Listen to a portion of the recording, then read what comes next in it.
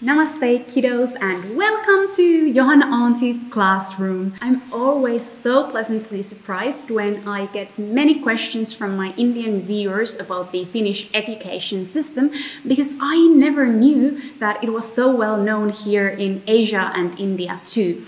I only knew that compared to most of the other Western countries, it was much better in the results and rankings. And I only ever saw in media that other Western countries were envious of our education system. But this was not the case some decades ago. Still in the around 60s, I think, Finland was still lagging behind in education compared to, for example, the US.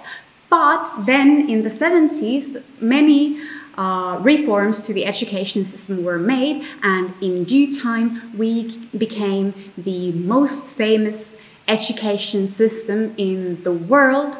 And I think that now, especially during the time that the Indian NEP 2020 has been published, it would be so interesting to look deeper into the Finnish current system. So let's get to it. The biggest reasons that lead to the equality and excellence in the Finnish education system and make it very different from most of the systems in the rest of the world are that it's a publicly funded comprehensive school system without selecting, tracking, or streaming students during their common education. So in Finland, we have a completely free education system to all the kids who are residents of Finland. And throughout my whole education that goes to all the way to the university, I have never had to pay a penny Technically, we don't have any private schools. In terms of their names, there are some uh, 80 private schools in Finland, but even these so called private schools uh, are not legally allowed to charge tuition fees from students, but they get their funding from the government and also in donation drives and such. Education is not a business in Finland. Schools aren't ranked, though, so there is uh, no kind of thinking about oh which school is best and when parents move to different areas or when kids plan their future there's no shopping for schools. It is the closest neighborhood school to you that is supposed to be the best one for the kid because there they get to be with their friends and it is easy to uh, move to daily we have highly competent and respected teachers because this is something that is seen as one of the best professions to have in Finland. Also, the government gives a lot of autonomy to individual schools because, for example, schools and teachers get to decide for themselves how they actually implement the curriculum in their everyday classes my knowledge and experience with the Finnish education system doesn't only go to the fact that I myself have had my education in Finnish schools, but my mother has also made her whole career as a well respected special education teacher in Finland, and she has also been the principal in a couple of Finnish schools. My sister works uh, at the what would be the word in English for this pre preschool uh, education, though at the moment she works with uh, very small babies. And I myself have also worked in Finnish schools, both, both, both as a teacher's sub, and I have also worked as a teacher's assistant, helping kids who have had more challenges in their learning. Okay, let's look at the Finnish education system a little bit more closely. Comparatively, Finnish kids start school pretty late in their childhood. So the school starts at the age of seven, and the uh, compulsory schooling uh, lasts for nine years. So from classes one to nine is compulsory for all the Finnish kids. And after the compulsory schooling, you get to decide the direction that you want to take with your life. And for the secondary uh, grade, you either choose to go to a high school, which is more of academic schooling, or a vocational school where you get the expertise to practice a profession that is like more of about the like practical and basic skills like a merchant or carpenter plumber and these can be also well paid professions in finland no matter which place you graduate from, you will still be getting quite a good pay and uh, your schooling doesn't necessarily determine uh, if you're going to have a good job in the future or uh, how much you're going to make money. I don't have that much of experience with the Indian school system, obviously. My knowledge about the Indian schools is mostly through my sister in law Sangeeta, who works as a teacher in Jaipur, and I have visited uh, two of the schools that she has worked in and seen a little bit of the daily life there. And of course, I also get a lot of stories about my husband's experiences in the Indian schools. And then, even though maybe this is not a very concrete and factual experience, I have also watched a lot of Hindi movies, for example, Hindi Medium, which, at least according to my husband, is very truthful in its portrayal of the Indian school system. And I was just like completely shocked when I saw on Hindi Medium that, oh my god, in India you can even like have to take a coaching course when you're starting your primary education and that's just like oh my god baffles me like where is your childhood? Where is your freedom? How already at this point you are being coached for the best schools and so on. And that is like for me as a finn just so utopistic. Also different kinds of coaching courses aren't very popular in finland even though they are, I think, getting more common these days. If you need to take a coaching course, it's more thought that uh, all the schooling that happens before applying to universities. Uh, that's supposed to prepare you to get in there, and maybe the school wasn't doing their job that well if uh, you need coaching courses. One thing that I know about the Indian school system is how much work the kids here put into their learning. Here in India, I was just shocked to hear that uh, kids go to school six days a week and it's about like maybe what six to eight hours per day. Now, you might be shocked to learn that even though Finland has some of the like, best results in learning in the whole world, we actually have the shortest shortest school days. So in primary school, the uh, time that we put into school starts from 20 hours per week, five days a week, and that makes like around four hours per day. And obviously, then once a kid grows up, the uh, number of hours per week keeps increasing. And then, of course, this time also includes the lunch hour, which is, I think, 30 minutes, and then uh, recesses that we have after uh, every 45 minute class. We also have a lot of vacation time in Finland. Our summer break is for two and a half months.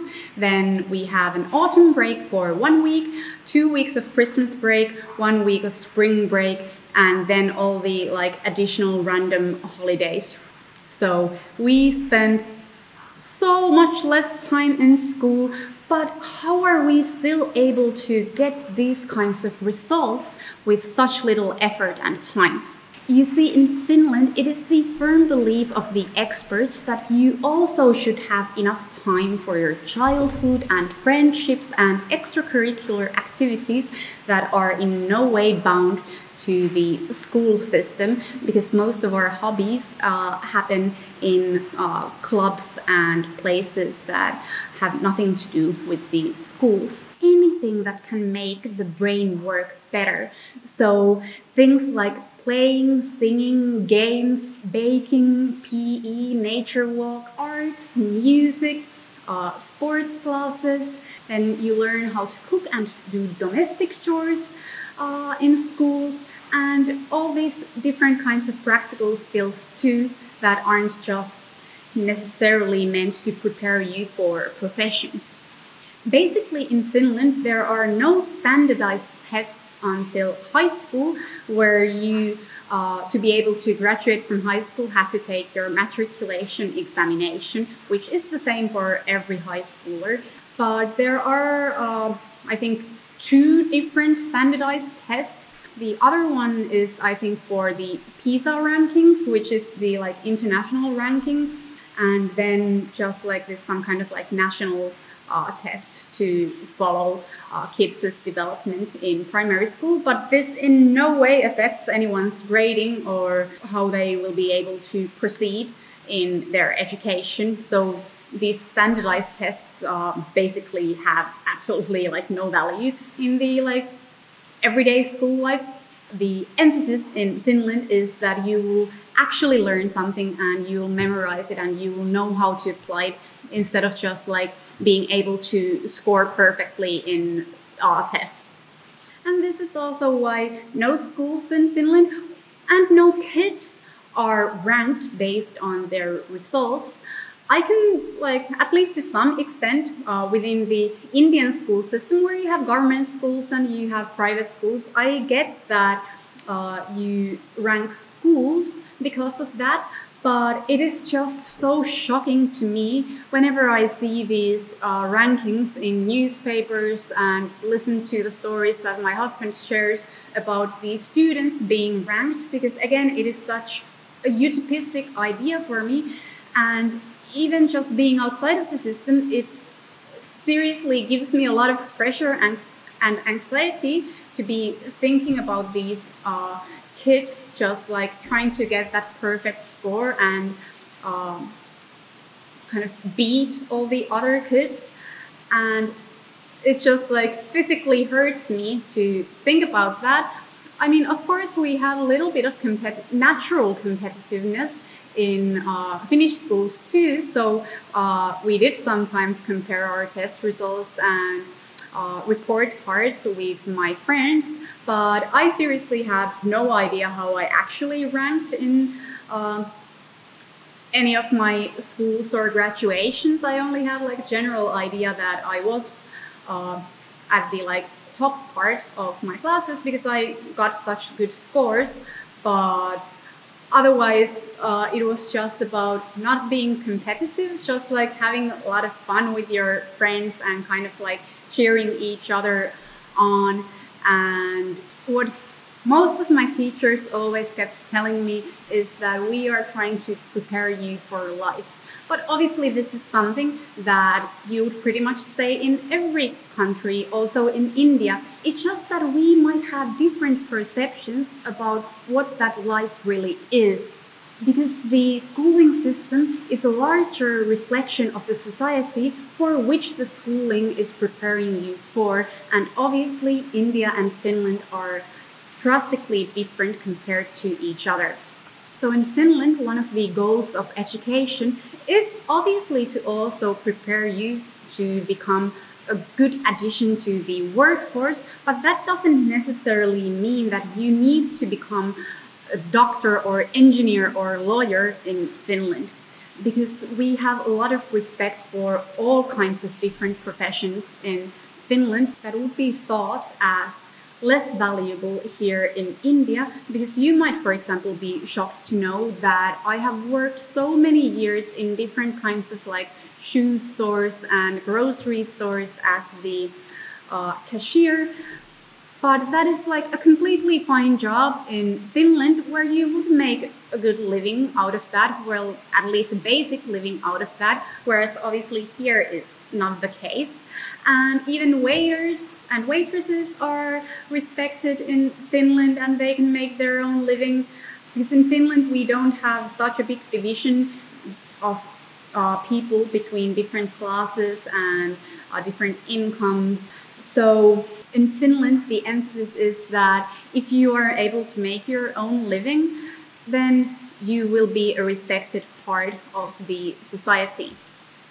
So I hope that this was able to give you a pretty good general idea of the uh, intricacies and uh, special things in the Finnish education system, uh, especially now that we are getting ready to see how the new NEP 2020 will be implemented in the Indian society. And I have to say that I strongly feel that the policies that are described uh, in this is a very good first step to the right direction for the Indian education, and I'm really looking forward to seeing how these things will be implemented and applied to the everyday life, lives of the schools. But yeah, I have to say that I'm quite optimistic, and I would very much hope to hear how you feel about the Finnish education system after this vlog, and if you have some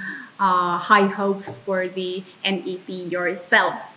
Anyways, thank you for watching and I hope you will have a wonderful day wherever you are. Mwah.